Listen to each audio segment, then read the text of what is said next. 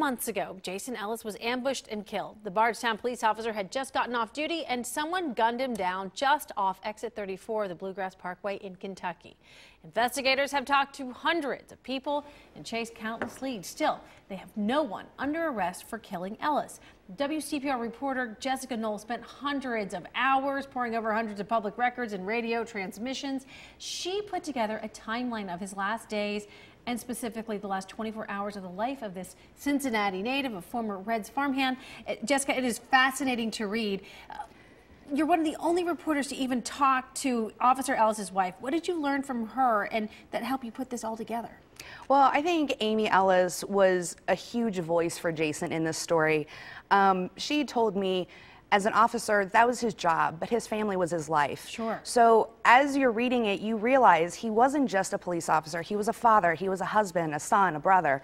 And those people lost their she lost her husband she lost her she best lost friend her partner in life for mm -hmm. sure and you know this story is told and it's really a fascinating read it is engaging and interesting and partly because you tell it almost like you're writing a novel why well, I think we, we set out to do a timeline and we wanted to do it in a narrative style, but I think it's really important to do it in a present tense uh, narrative because then you're going along that day with him. You feel like you're with him in the cruiser um, with Amy talking you to him really on the do, phone. You feel like you know him. Right.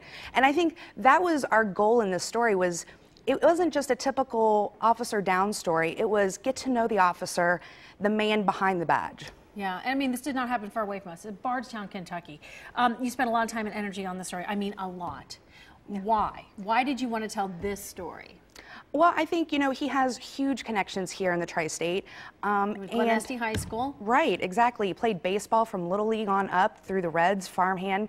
And I think the people here in the tri-state want answers. And I think people in Bardstown want those answers as well. And to tell his story and tell the person he was was really important because at the end of the day, we hope that this story is going to make people talk and the right person is going to know something and say what happened. I don't want to ruin the ending or anything like that, but because um, it's really not ended. But how are police in this investigation? Are they getting anywhere?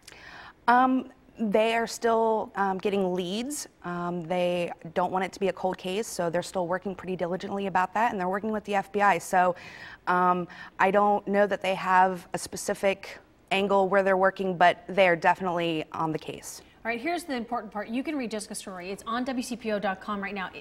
Truly worth your time. She's also going to have a Facebook chat on her page, Jessica Noll WCPO. That's her Facebook page at 6 o'clock tonight. And tonight on 9 on your side at 11, we have an interview with Officer Jason Ellis's wife. It should be very fascinating. Thanks so much for putting that together and coming on talking about Thanks. it. Thanks.